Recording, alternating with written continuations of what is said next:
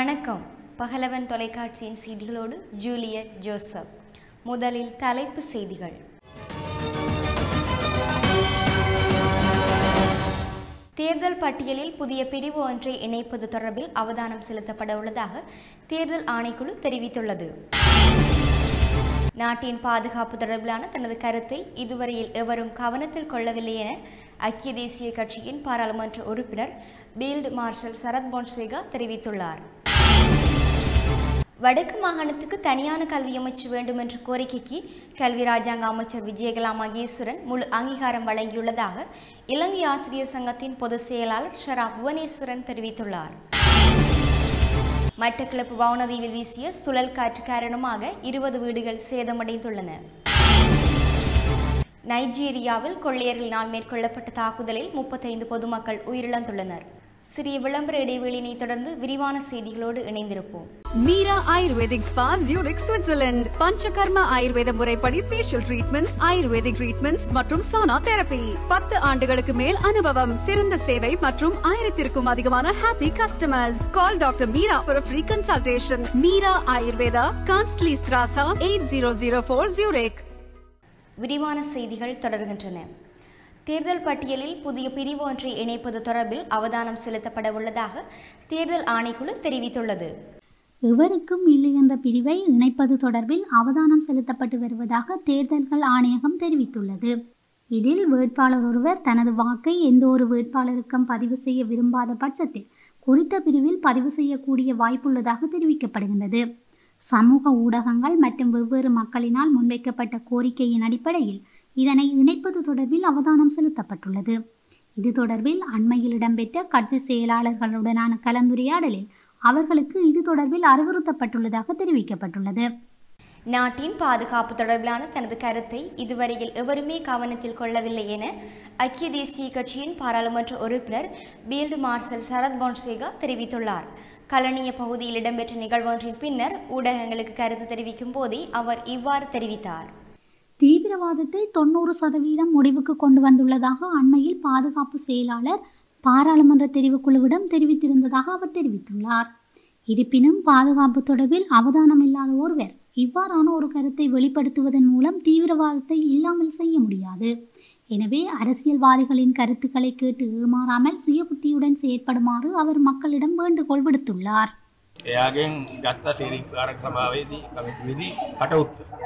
එතකොට එයා කිව්වා සියයට අනුනමයක් වහාම ඇතිවෙන්න තියෙන උතුර ඉවරයි. வடக்கு மாகாணத்துக்கு தனியான கல்வி அமைச்சு வேண்டும் என்ற கோரிக்கைக்கு கல்வி ராஜாங்க அமைச்சர் விஜயகலா மகேஸ்வரன் முழு அங்கீகாரம் வழங்கியுள்ளதாக இலங்கை ஆசிரியர் சங்கத்தின் பொதுச் செயலாளர் சரா புவனேஸ்வரன் தெரிவித்துள்ளார் யாழ்ப்பாணத்தில் இன்று இடம்பெற்ற ஊடக சந்திப்பிலேயே அவர் இதனை குறிப்பிட்டார் வடக்கு மாகாணம் கல்வியில் பாரிய பின்னடைவை சந்தித்து வருகின்றது. இன்னும் அந்த சந்திப்பை அந்த இழப்பை அல்லது சரிவை நாங்கள் சந்திக்க முடியாது என்பதற்காக வடக்கு மாகாணத்தில் இருக்கின்ற கல்வி கலாச்சார பண்பாட்டு விளையாட்டுத்துறை மற்றும் இளைஞர் விவகார அமைச்சை அதிலிருந்து கல்வி அமைச்சை தனி அமைச்சாக ஆக்குங்கள் என்ற கோரிக்கையை நாங்கள் முன்வைத்தோம். அந்த கோரிக்கையினுடைய பிரதி ஒன்றை மத்திய கல்வி அமைச்சருக்கும் கல்வி ராஜாங்க அமைச்சர் கௌரவ விஜயகலா மகேஸ்வரன் அவர்களிடமும் கையெழுத்திருந்தோம் அந்த கோரிக்கையை பல அறிஞர்களோடு வடபுலத்தில் இருக்கின்ற கல்வியாளர்களோடு கலந்து ஆலோசித்த கௌரவ ராஜாங்க அமைச்சர் விஜயகலா மகேஸ்வரன் அவர்கள் மிகவும் நேர்த்தியான கோரிக்கை என்றும் அது ஏற்றுக்கொள்ளக்கூடிய கோரிக்கை என்றும் அந்த கோரிக்கையின் அடிப்படையில் வடக்கு மாகாணத்தில் கல்வி அமைச்சு தனி அழகாக ஆக்கப்பட வேண்டும் என்கின்ற விடயத்தை கௌரவ கலாநிதி சுரேந்திர ராகவன் அவர்களிடம் முன்வைத்திருக்கின்றார். நாம் வைத்த கோரிக்கையை ராஜாங்க அமைச்சர் அவர்கள் ஏற்றுக்கொண்டு கௌரவ சுரேந்திர ராகவன் அவர்களுக்கும் தன்னுடைய முன்மொழிவினை வழங்கியிருக்கின்றார். மட்டக்களப்பு வவுனதீவில் வீசிய சுழல் காற்று காரணமாக இருபது வீடுகள் சேதமடைந்துள்ளன. வவுனதீவு பிரதேச செயலகர் பிரிவுக்குட்பட்ட கொத்தியாவளை மற்றும் இலுப்பட்டிச்சோலை கிராம உத்தியோகத்தர் பிரிவுகளில் நேற்று மாலை பலத்த காற்று வீசியுள்ளது. இதில் சுமார் இருபது வீடுகளின் கூரைகள் சேதமடைந்துள்ளதாக தெரிவிக்கப்படுகின்றது.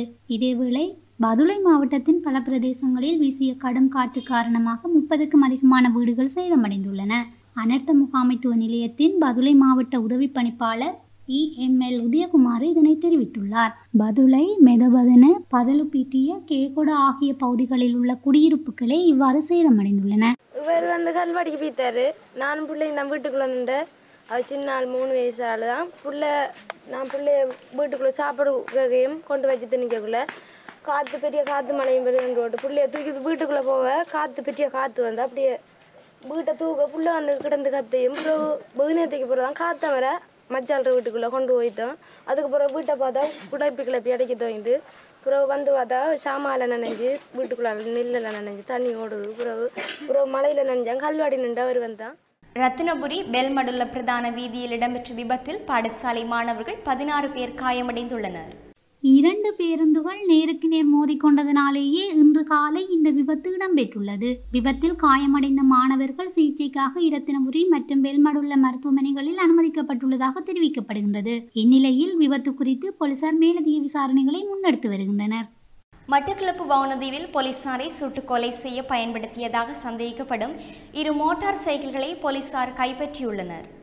காத்தாங்குடி மற்றும் ரிதிதின்ன பிரதேசத்தில் நேற்று முன்தினம் குற்ற விசாரணை பிரிவினர் அவற்றை மீட்டுள்ளதாக போலீசார் தெரிவித்துள்ளனர். கடந்த வருடம் நவம்பர் இருபத்தி ஒன்பதாம் திகதி வவுனதீவு வலையிரவு பாலம் அருகில் போலீஸ் வீதி சோதனை சாவடியில் கடமையில் இருந்த போலீசார் இருவரை துப்பாக்கியால் சுட்டும் கத்தியால் குத்தியும் கொலை செய்துவிட்டு அவர்களிடமிருந்த இரண்டு கைத்துப்பாக்கிகளையும் சந்தக நபர்கள் எடுத்துச் சென்றனர். இந்த தாக்குதலுக்கு தலைமை தாங்கிய சவுதி அரேபியாவில் கைது செய்யப்பட்ட காத்தாங்குடியைச் சேர்ந்த முகமது ஆப்தீன் மில்கான் மற்றும் சஹ்ரானின் சாரதியான முகமது ரிப் ஆதம்பாலிப்பை ஹபூர் ஆகிய இருவரும் பயன்படுத்திய பல்சர் ரக மோட்டார் சைக்கிளை காத்தான்குடியில் உள்ள மில்கானின் வீட்டில் வைத்து பொல்நறுவை மட்டக்களப்பு எல்லை பிரதேசமான ரிதிதென்ன பகுதியில் உள்ள ரிப் ஆதம்பாலிப்பை கபூரின் நண்பர் ஒருவரின் வீட்டிலிருந்து புரிதொரு மோட்டார் சைக்கிளும் கைப்பற்றப்பட்டுள்ளது. குறித்த சம்பவம் தொடர்பான விசாரணைகளை குற்ற விசாரணை பிரிவினர் மேற்கொண்டு வருகின்றமை குறிப்பிடத்தக்கது.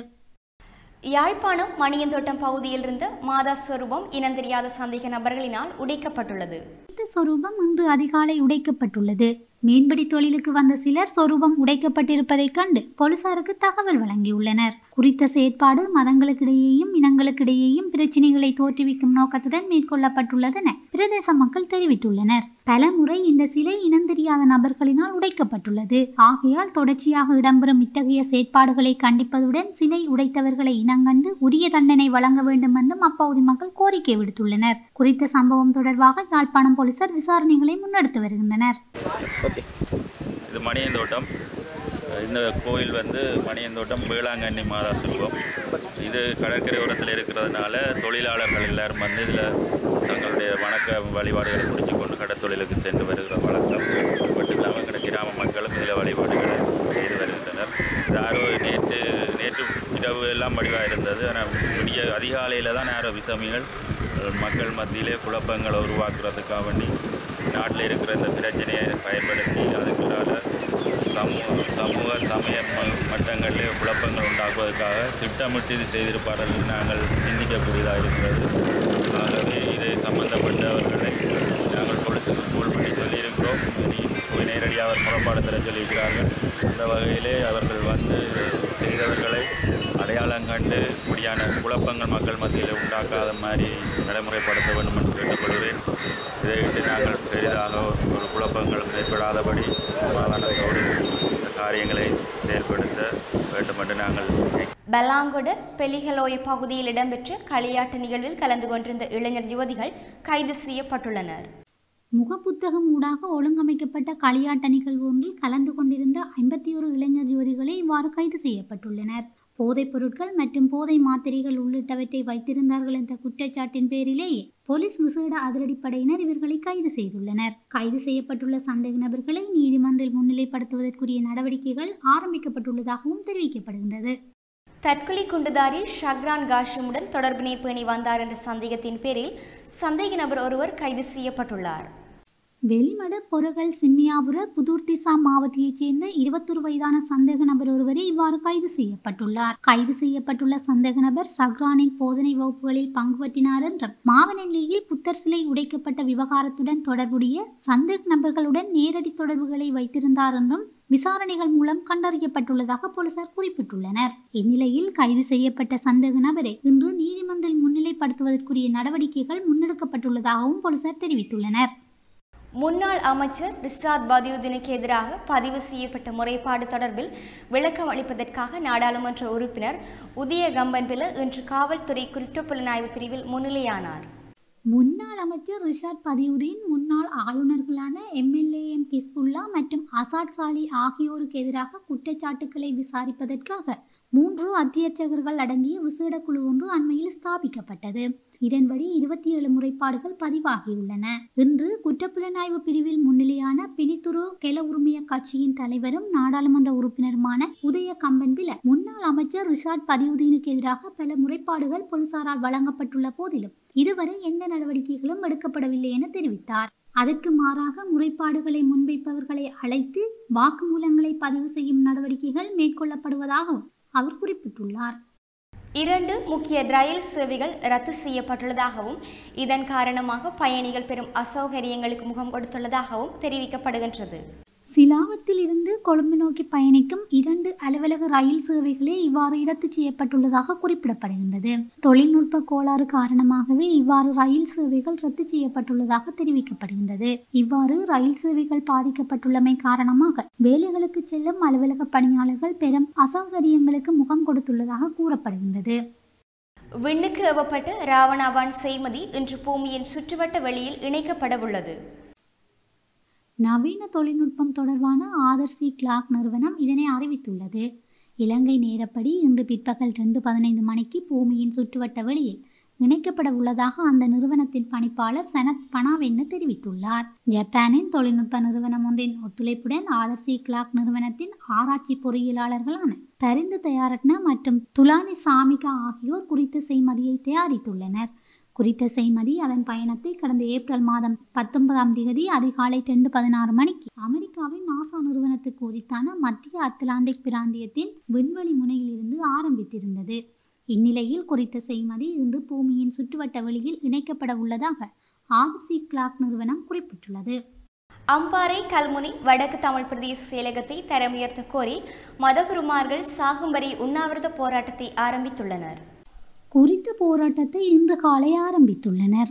கல்முனை சுபத்திரா ராமிய விகாராதிபதி ரன்முத்துக்கல சங்கரட்ன தேரர் கிழக்கிழங்கையின் இந்து குருமார் ஒன்றியத்தின் தலைவர் சிவஸ்ரீ க. கு. சச்சிதானந்த சிவம் குருக்கள் கல்முனை மாநகர சபை உறுப்பினர்களான அமரகோன் விஜயரட்னம் சந்திரசேகரன் ராஜன் உள்ளிட்டோர் குறித்த போராட்டத்தை முன்னெடுத்துள்ளனர். இந்நிலையில் போராட்டத்தில் ஈடுபட்டுள்ள அவர்கள் தெரிவித்துள்ளதாவது அரசியல்வாதிகளினால் தாம் தொடர்ந்தும் ஏமாற்றப்பட்டு வருகின்றோம். மேலும் எங்களுக்காக குரல் கொடுக்கின்ற கட்சிகள் அரசியல்வாதிகளை பிரதமரும் ஜனாதிபதியும் உதாசீனப்படுத்துகின்றனர். அந்த வகையில் இப்போராட்டத்தை இனவாதத்தை தூண்டும் போராட்டமாக யாரும் பார்க்க வேண்டாம். இதேவேளை அம்பாறை கல்முனை வடக்கு தமிழ் பிரதேச செயலகத்தை தரம் உயர்த்தும் வரை இந்த சாகும் வரியான உண்ணாவிரத போராட்டத்தை கைவிடப் போவதில்லை என போராட்டத்தில் ஈடுபட்டுள்ளவர்கள் குறிப்பிட்டுள்ளனர். இது சாதாரணமாக நினைக்கக்கூடாது யாருமே. இது வந்து மிக எங்களுக்கு நிச்சயமாக இதுக்கு முடிவு தர வேண்டும். ரந்தனிகள மகியங்கனை பிரதான வீதியை அண்மித்து அமைந்துள்ள நீர்த்தேக்கத்துக்கு அப்பால் காணப்படும் வனப்பகுதியில் தீப்பரவல் ஏற்பட்டுள்ளதாக தெரிவிக்கப்பட்டுள்ளது. நேற்று பிற்பகல் முதல் தீப்பரவல் ஏற்பட்டு வரும் இந்த வனத்தில் இதுவரை மூன்று ஏக்கர் வரையான இயற்கை வளம் பாதிக்கப்பட்டுள்ளதாக தெரிவிக்கப்பட்டுள்ளது. வனப்பகுதிக்கு மிருக வேட்டைக்காக சென்றவர்கள் இவ்வாறு தீ வைத்திருக்கக்கூடும் என வனவள பாதுகாப்பு திணைக்கள அதிகாரிகள் சந்தேகம் வெளியிட்டுள்ளனர். மிகிதலை பிரதேச சபையின் ஸ்ரீலங்கா பொதுஜன முன்னணி உறுப்பினர் ஒருவர் கைது செய்யப்பட்டுள்ளார். தாக்குதல் சம்பவம் மற்றும் போலீஸ் கடமைகளுக்கு இடையூறு விளைவித்த குற்றச்சாட்டின் பேரில் இன்று அவர் கைது செய்யப்பட்டுள்ளார். நேற்றிரவு பிரதேச சபை உறுப்பினர் உட்பட குழுவினருக்கும் மிகுந்தலை பிரதேசத்தைச் சேர்ந்த குழு ஒன்றுக்கும் இடையில் ஏற்பட்ட வாய்த்திருக்கம் மோதலாக மாறியுள்ளது. இந்த மோதலில் காயமடைந்த பிரதேச மக்களில் சிலர் போலீசில் மேற்கொண்ட முறைப்பாட்டுக்கமே பிரதேச சபை உறுப்பினர் இன்று காலை கைது செய்யப்பட்டுள்ளார். சம்பவத்தில் காயமடைந்த ஆறு பேர் மிகுந்தலை மற்றும் அனுராதபுர வைத்தியசாலையில் அனுமதிக்கப்பட்டுள்ளனர். புதிய ஜனநாயக மார்க்சிச லெனினிச கட்சியின் செயலாளர் சி. க. செந்தில்வேலின் ஊடக சந்திப்பு ஒன்று இன்று யாழ்ப்பாணத்தில் நடைபெற்றது. இலங்கையினுடைய இன்றைய அரசியல் நாளாந்தம் பரபரப்புடையதாகவும் அதிர்வுகள் உள்ளதாகவும் மாறிக்கொண்டு வருவதை நாங்கள் பார்க்கக்கூடியதாக இருக்கிறது. இது கடந்த வருடம் அக்டோபர் இருபத்தாறாம் தேதியில் ஜனாதிபதி எடுத்த அந்த ஜனாதிபதி செயலக சதியின் மூலமாக பிரதமரை மாற்றியதிலே ஆரம்பித்து இன்றைக்கு ஏப்ரல் இந்த வருடம் இருபத்தோராம் தேதி குண்டுவெடிப்போடு அது இன்னும் மேலும் தீவிரமடைந்திருக்கக்கூடிய ஒரு அரசியல் சூழலை நாங்கள் பார்க்கக்கூடியதாக இருக்கிறது. இது தென்னிலங்கை அரசியல் ஒரு புறமாகவும் வடக்கு கிழக்கை உள்ளடக்கிய அரசியல் இன்னொரு புறமாகவும் இப்பொழுது மூன்றாம் நிலையிலே முஸ்லீம் மக்களுடைய மத்தியிலான அரசியல் இன்னொரு புறமாகவும் பிரச்சனைகளை எதிர்நோக்கி இருக்கக்கூடிய ஒரு நிகழ்வு போக்கு இன்றைக்கு தொடராக நடந்து வருவதை அவதானிக்கக்கூடியதாக இருக்கிறது. போதைப் பொருளுக்கு எதிரான விழிப்புணர்வு ஊர்வலம் ஒன்று இன்று யாழ்ப்பாண பிரதேச செயலகத்தினால் முன்னெடுக்கப்பட்டுள்ளது. நாட்டில் போதைப்பொருள் பாவனையால் ஏற்படும் உயிரிழப்புகள் மற்றும் பாதிப்புகள் தொடர்பில் பொதுமக்கள் வெளிப்படைய வேண்டும் எனும் துணிப்பொருளில் குறித்த விழிப்புணர்வு ஊர்வலம் முன்னெடுக்கப்பட்டது. போதைப்பொருளுக்கு எதிரான ஊர்வலம் யாழ்ப்பாண பிரதேச செயலகத்தில் ஆரம்பமாகி சுண்டுக்குழி சந்தியூடாக சென்று மீண்டும் பிரதேச செயலகத்தை சென்றடைந்தது. ஊர்வலத்தில் பிரதேச செயலக உத்தியோகத்தர்கள் மற்றும் பொதுமக்கள் ஆகியோர் கலந்து கொண்டனர். நாங்கள் தேர்ந்தெடுக்க வேண்டிய பாதை வாழ்வின் பாதை. போதை அது சாவின் பாதை என்று இங்கே சொல்லப்படுகிறது. ஆகவே இந்த வாழ்வை நோக்கி பயணிப்பதற்கு நாங்கள் எல்லாரும் தயாராக இருக்கணும் யாழ்ப்பாணம் இருபாலை பகுதியில் காணி பிணக்கு காரணமாக பெண் ஒருவர் கழுத்தறுத்து கொலை செய்யப்பட்டுள்ளார். குறித்த சம்பவம் இன்று மதியம் இடம்பெற்றுள்ளது. சம்பவத்தை மேற்கொண்டவர் கோப்பாய் போலீஸ் நிலையத்தில் கத்தியுடன் சரணடைந்துள்ளார். காணி பிணக்கு காரணமாக உறவினர்களான அயலவர்கள் இருவருக்கிடையே நீண்ட காலமாக பிணக்கு காணப்பட்டது. அதனை சாட்டாக வைத்து பெரிய தந்தையார் கத்தியுடன் சென்று கந்தவள் பாடசாலைக்கு முன்பாக வைத்து பிராமகனுக்கு வயிற்றில் குத்தியுள்ளார். அவர் நிலத்தில் சரிந்து விழுந்துள்ளார். கத்தியால் குத்தியவர் துவிச்சக்கர வண்டியை எடுத்துக்கொண்டு கோப்பாய் போலீஸ் நிலையத்துக்கு புறப்பட்டுள்ளார். வழியில் பிறாமகளை கண்டுள்ளார். அவரை கத்தியால் குத்த முற்பட்ட போது அந்த பெண் பெரிய தந்தையாரை வீதியில் தள்ளி வீழ்த்திவிட்டு தப்பி ஓடியுள்ளார். அந்த பெண்ணை பெரிய தந்தையார் துரத்திச் சென்றுள்ளார். ஓடிச் சென்ற அந்த பெண் தடுமாறி வீதியில் சரிந்து விழுந்துள்ளார். அதன்போது அவரை கழுத்தறுத்து பெரிய தந்தையார் கொலை செய்துள்ளார் என்று போலீசார் தெரிவித்துள்ளனர். கத்திக்குத்துக்கு இலக்காகியவர் யாழ்ப்பாணம் போதுனா வைத்தியசாலையில் சேர்க்கப்பட்டுள்ளார். பிரச்சனைக்கு இதன்று சண்டை பிடிச்சி பேருந்து மூணு லட்சம் காசு அவரை கொடுத்து எல்லாம் கொடுத்து முடிஞ்சது. பேருந்து அதை எல்லாம் முடிஞ்சு அப்பாவுக்கும் தங்கச்சியும் முதல் வெட்டினார். வெட்டி இதை வெட்டிட்டு பேருந்து எல்லாம் பொலிசு கேஸ் எல்லாம் போட்டு எல்லாம் விளாண்டு உள்ளுக்கெல்லாம் இருந்து வெளியில் வந்தது. பேருந்து அதுக்கு பிறகு கத்தியை கொண்டு போவார் அதை கண்டுவார் வெறுவார் போவார். அந்த உங்களோட ஆத்துறது சண்டை பிடிக்கிறது சீட்டு கல்ல அறிகிறது இப்படி அறிகிறது தண்டுறது அப்படி நாங்கள் ரெண்டா கத்தியை கொண்டு திரத்துறது அப்படி இப்படின்னு நிறைய பிரச்சனை செய்தது. நான் அப்படி அப்படி சரி சித்தப்பா தான் என்ன செய்யறேன்னு விட்டு விட்டுருவாங்க இன்றைக்கு தங்கச்சி பள்ளிக்கிற வெட்டின்னு போ போகுது. அப்படியே தங்கச்சியை இதால் வெட்டி வெட்டி மண்டை தீவில் திட்டமிடப்பட்ட வகையில் சுற்றுலா மையம் அமைக்கப்படாமல் ஏழு கோடி ரூபாய் நிதி மோசடி செய்யப்பட்டுள்ளது. தீவகத்தில் சுற்றுலாத்துறையை மேம்படுத்தி தீவக இளைஞர்களின் தொழில் பிரச்சினையை தீர்க்கும் முகமாக மண்டை தீவு ஜே ஏழு கிராம சேவையாளர் பிரிவில் நாற்பது ஏக்கர் காணியில் ஐந்து கோடி செலவில் எக்கோ டூரிசம் சென்டர் அமைப்பதாக இரண்டாயிரத்தி பதினாறாம் ஆண்டு பிரதேச செயலாளரினால் தீர்மானிக்கப்பட்டது. இருப்பினும் சுற்றுலா மையம் அமைக்கப்படாமலேயே மையத்திற்கு தேவையான பொருட்கள் கொள்வனவு செய்யப்பட்டன. அப்பொருட்கள் கடந்த ஒன்றரை வருடங்களாக வெயிலிலும் மழையிலும் சேதமடைந்துள்ளது. குறித்த திட்டம் பூர்த்தி செய்யப்படாமல் மேலும் இருபத்தி ஏழு மில்லியன் ஒப்படைக்கப்பட்டுள்ளது. குறித்த இத்திட்டத்தை பூரணப்படுத்த முடியாத துர்ப்பாக்கிய நிலை ஏற்பட்டுள்ளது. இத்திட்டத்தை சுற்றுலாத்துறை அமைச்சின் நேரடி கண்காணிப்பில் பூர்த்தி செய்து தீவக இளைஞரின் வேலைவாய்ப்பை பெற்றுக் கொடுக்க வேண்டும் என மக்கள் கோரிக்கை விடுத்துள்ளனர். ரெண்டாயிரத்தி பதினாறாம் ஆண்டு சுற்றுலாத்துறை அமைச்சால் தீபகத்தில் சுற்றுலா மையங்களை நவீனமயப்படுத்துறதுக்கும் அந்த சுற்றுலா மையங்களை நவீனமயப்படுத்தி அதனால் தீவக இளைஞர்களுக்கு தொழில் வாய்ப்பு கொடுக்க வேண்டும் என்ற நன்னோக்கில் அஞ்சு கோடி ரூபா ரெண்டாயிரத்தி பதினாறாம் ஆண்டு வேலனை பிரதேச செயலகத்துக்கு ஒதுக்கப்பட்டது. அந்த காலப்பகுதியில் தீவகத்தில் சாட்டி நைனாதீவு போன்ற பல தீவுகள் சுற்றுலாத்துறையை மேம்படுத்தக்கூடிய வசதிகள் இருந்தும் அப்போதைய பிரதேச செயலர் சூனாரதி இந்த திட்டத்தை முன்மொழிந்து அப்பையும் கனவேர் அதுக்கு எதிர்ப்பு தெரிவிச்சு இது சூட்டபிள் இல்லை இந்த திட்டம். இந்த படகு சவாரிக்காக வந்து இவ்வளவு தூரத்துக்கு மக்கள் ஈர்க்கப்பட மாட்டாங்க. இதுக்கு ஏதாவது பயன்தர திட்டங்களை செய்திருக்கலாம்னு சொல்லவும் தண்ட விருப்பப்படி இதை ஆரம்பித்தவா ஆரம்பித்து இப்போ நீங்கள் பார்த்து கொண்டிருக்கிற இந்த இறங்குதுறை கூட இன்னும் முதல் ஆரம்பத்தில் ஒரு சுற்றுலா மையத்தில் படகு சவாரியை மேற்கொள்கிறேன்னு சொன்னால் இறங்குதுறையால் இதுகளெல்லாம் ஆழப்படுத்தி நீட்டான பிறகுதான் அதுக்கப்புறம் செய்ய வேண்டிய வேலைகளை செய்திருக்க வேணும் முதல் ஆரம்பத்திலே வந்து இது நாற்பது ஏக்கர் காணி அண்டு ஒதுக்கப்பட்ட காணியை ஆரம்பத்திலே இப்படி சுற்றுலா மையம் உருவாக்கப்படுறான்னு சொன்னால் முதல் பிரதேச சபைக்கு அதை பாரப்படுத்தி இருக்க வேணும். இதுவரை மூன்று வருடங்களாகியும் இதுவரை அதுக்கான எந்த ஒரு நடவடிக்கையும் மேற்கொள்ளப்படவில்லை. இந்த காடுகள் எல்லாம் சேர்த்து தான் நாற்பது ஏக்கர் காணி. இந்த இடம் இன்னும் ஆழப்படுத்தப்படாமல் ஒன்றரை கோடி ரூபாய்க்கு வந்து கிட்டத்தட்ட எண்ணூறு மீட்டருக்கு அதிகமான ரோட் போட்டிருக்கிறாங்க. அந்த ரோட் வந்து மூன்று வருஷத்துக்கு முதல் போடப்பட்டது. அதில் எந்த ஒரு மனிதனும் ஆள் நடமாட்டம் இல்லாத வீதி. தொடர்வன வெளிநாட்டு செய்திகள்.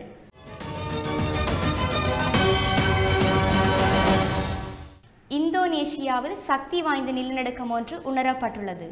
இந்தோனேசியாவின் கிழக்கு பகுதியில் இன்று காலை ஆறு தசம் இரண்டு ரிக்டர் அளவில் இந்த நிலநடுக்கம் உணரப்பட்டுள்ளதாக அமெரிக்க புவியியல் ஆய்வு மையம் தெரிவித்துள்ளது. டிமோங் தீவில் உள்ள ஹுவாங் நகரிலிருந்து வடமேற்கில் நூற்று முப்பத்தி மூன்று கிலோமீட்டர் தொலைவில் இந்த நிலநடுக்கம் மையம் கொண்டிருந்ததாக குறிப்பிடப்படுகின்றது. குறித்த நிலநடுக்கத்தினை தொடர்ந்து யுஎஸ்ஜிஎஸ் உடன் இணைக்கப்பட்ட பசிபிக் சுனாமி எச்சரிக்கை மையம் சுனாமி எச்சரிக்கை எதனையும் வெளியிடவில்லை. இதேவேளை இந்த நிலநடுக்கத்தினால் ஏற்பட்ட சேத விவரங்கள் குறித்த தகவல்கள் எவையும் இதுவரையில் வெளியிடப்படவில்லை. நைஜீரியாவில் கொள்ளையர்களினால் மேற்கொள்ளப்பட்ட தாக்குதலில் முப்பத்தைந்து பொதுமக்கள் உயிரிழந்துள்ளனர். நைஜீரியாவின் வடக்கு பகுதியில் உள்ள ஜம்பாரா மாநிலத்திற்குட்பட்ட டுங்கர் கபாப் மற்றும் கிடான் பாவா ஆகிய கிராமங்களுக்குள் நுழைந்த கொள்ளையர்களினாலேயே இவ்வாறு தாக்குதல் மேற்கொள்ளப்பட்டுள்ளது. துப்பாக்கி உள்ளிட்ட பயங்கர ஆயுதங்களுடன் மோட்டார் சைக்கிளில் வருகை தந்த கொள்ளையர்கள். மக்கள் வைத்திருந்த பணம் மற்றும் உணவுப் பொருட்களை கொள்ளையடித்து சென்றுள்ளனர். அத்துடன் முப்பத்தைந்து பொதுமக்களை கொலை செய்துள்ளதாகவும் சர்வதேச ஊடகங்கள் செய்தி வெளியிட்டுள்ளன. இதேவேளை கடந்த வாரத்தில் இதேபோன்று நைஜர் மாநிலத்தில் உள்ள கிராமங்களை சூறையாடிய ஒரு கும்பல் சுமார் நாற்பது பேரை கொலை செய்திருந்தமை குறிப்பிடத்தக்கது. தென் அமெரிக்க நாடுகளில் ஏற்பட்டுள்ள மின்தடை காரணமாக நாற்பத்தி எட்டு மில்லியன் மக்கள் பாதிக்கப்பட்டுள்ளனர். ஒரே மின்சார கட்டமைப்பினை பயன்படுத்தி வரும் ஆர்ஜென்டினா மற்றும் உருகுவே ஆகிய நாடுகளே இவ்வாறு மின் தடையினை எதிர்நோக்கியுள்ளது. இரு நாடுகளினதும் ஒரு சில இடங்களில் மின்சார விநியோகம் வளமைக்கு திரும்பினாலும் சில பகுதிகளில் தொடர்ந்து மின்சாரம் தடைப்பட்டுள்ளது. இதன் காரணமாக பல முக்கிய தொழிற்சாலைகளின் அன்றாட செயற்பாடுகள் பாதிக்கப்பட்டுள்ளதாகவும் சர்வதேச ஊடகங்கள் செய்தி வெளியிட்டுள்ளன. இந்நிலையில் மின்சார விநியோகத்தை வளமைக்கு கொண்டு வருவதற்குரிய நடவடிக்கைகள் ஆரம்பிக்கப்பட்டுள்ளதாகவும் சர்வதேச ஊடகங்கள் செய்தி வெளியிட்டுள்ளன. தொடர்வன விளையாட்டு செய்திகள்.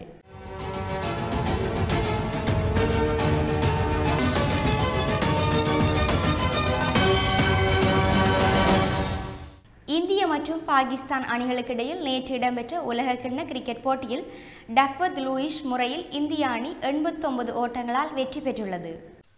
போட்டியில் முதலில் துடுப்படுத்தாடிய இந்திய அணி நிர்ணயிக்கப்பட்ட ஐம்பது ஓவர்கள் நிறைவில் ஐந்து விக்கெட்டுகளை இழந்து முன்னூற்று முப்பத்தி ஆறு ஓட்டங்களை பெற்றது. துடுப்பாட்டத்தில் இந்திய அணி சார்பாக ரோஹித் சர்மா நூற்றி நாற்பது ஓட்டங்களையும் விராட் கோலி எழுபத்தி ஏழு ஓட்டங்களையும் பெற்றுக் கொடுத்தனர். பதிலுக்கு துடுப்படுத்தாடிய பாகிஸ்தான் அணி முப்பத்தைந்து ஓவர்கள் நிறைவில் ஆறு விக்கெட்டுகளை இழந்து நூற்று அறுபத்தி ஆறு ஓட்டங்களை பெற்றிருந்த போது மழை காரணமாக போட்டி இடைநிறுத்தப்பட்டது. இதன் பின்னர் குறித்த போட்டி நாற்பது ஓவர்களுக்கு மட்டுப்படுத்தப்பட்டது. இதற்கமைய டக்வத் லூயிஸ் முறையில் பாகிஸ்தான் அணி நாற்பது ஓவர்களில் முன்னூற்றி இரண்டு என்ற இலக்கை அடைய வேண்டும் என நிர்ணயிக்கப்பட்டது. இதன்படி துடுப்படுத்தாடிய பாகிஸ்தான் அணி நாற்பது ஓவர்கள் நிறைவில் ஆறு விக்கெட்டுகளை இழந்து இருநூற்றி பன்னிரண்டு ஓட்டங்களை மாத்திரமே பெற்றது. போட்டியின் சிறப்பாட்டக்காரராக இந்திய அணியின் ரோஹித் சர்மா தெரிவு செய்யப்பட்டார். இத்துடன் பகலவன் தொலைக்காட்சியின் செய்திகள் நிறைவடைகின்றன. தொடர்ந்தும் பகலவன் தொலைக்காட்சியோடு இணைந்திருங்கள்.